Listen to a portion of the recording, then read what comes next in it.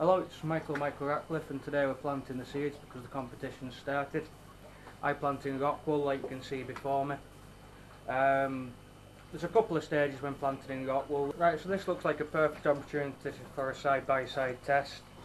The one on the left here, I soaked them in a pH buffer and a nutrient solution. The ones on the right, I only did the nutrient solution part, so this is just the pH. I didn't change that at all.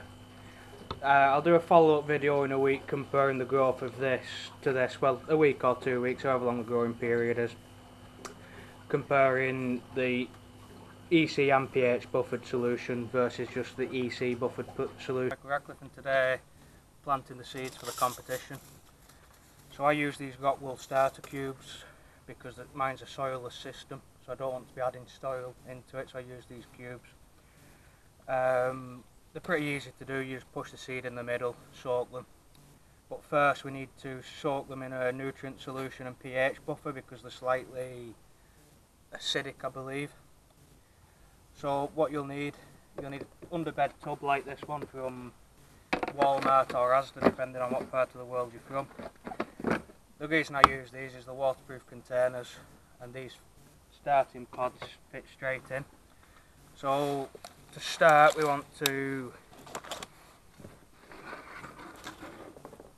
make a tub to soak the starter cubes in for around half an hour.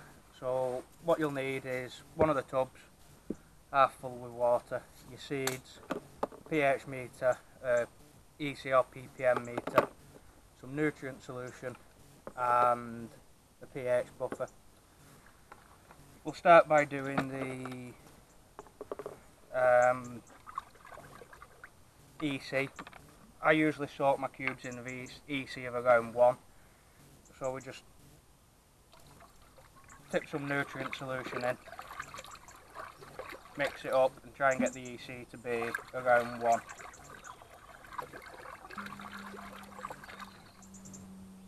So that we've got it around 1. The next step is pH. We need to we need to make the solution of pH around 5.5. Right, so I've just adjusted the pH down to 5.5 using some acid or alkali in a pipette. The next step is you take this starter cube, put them in there, put the lid on and move them out of the way because they're going to soak for around half an hour and that's just so the cubes change pH. In the next bit I'll just show you how to place the seeds. If you can see what I'm doing there, I'm just placing one seed on top of each and we'll push them in with the nib of a pen into the holes. So if you just look here, you just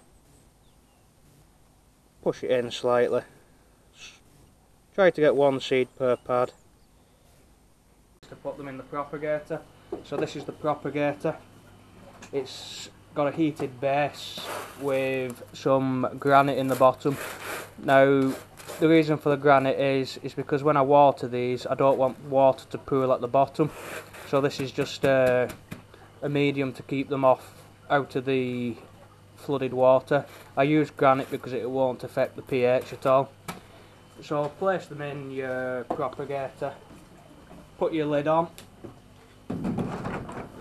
like so. And then the final step is to set the minimum temperature. Now, I'm going to have to go and read online to see what the germinating temperature for these is. With this, this is the temperature now and the minimum set point. I'll go with 20 degrees because until I go and read out the exact number, it'll be a good thing. So what this will do now is whenever this heated propagator gets below 20 degrees it'll turn the heater on. So we should have a high rate of germination. In there now I think I've got 240 seeds so we can see uh, the germination success rate quite well. Uh, one final word is this liquid which is left over from pre-soaking if you put this in a watering can you can use it to water your seedlings until they're ready to transplant. Um, so keep watching the video I'll put more information in the lines below.